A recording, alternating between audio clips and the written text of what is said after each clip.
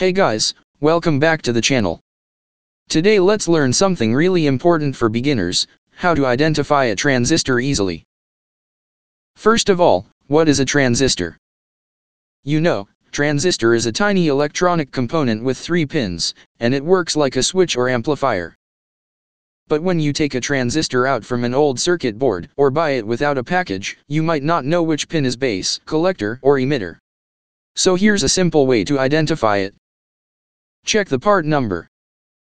Every transistor has a part number printed on its flat side. For example,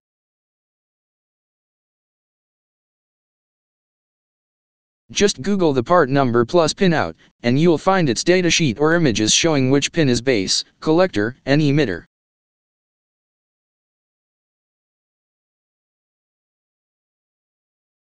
Using a multimeter. Set your multimeter to diode mode. Hold transistor flat side towards you, pins down. Connect multimeter positive probe to middle pin. Touch negative probe to left pin. You will see a voltage drop. Usually 0.6 to 0.7 voltage. Touch negative probe to right pin. Again you will see a voltage drop.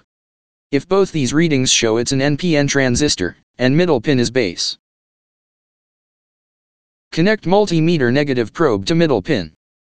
Touch positive probe to left pin. You will see voltage drop. Touch positive probe to right pin. You will see voltage drop. Both these readings confirm it's a PNP transistor. Identifying collector and emitter. Most transistors are arranged as left collector, middle base, right emitter. But not always. That's why datasheet is important. If you don't have a datasheet here's a trick. Emitter to base junction shows slightly higher voltage drop than collector to base junction. So, measure both. The one with slightly higher reading is emitter. Using a transistor tester.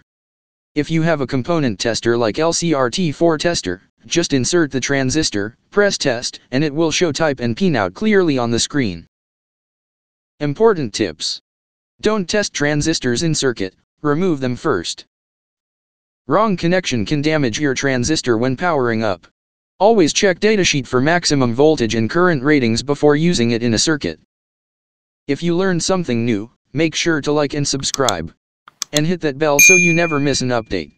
Got questions? Drop them in the comments. See you in the next video, take care.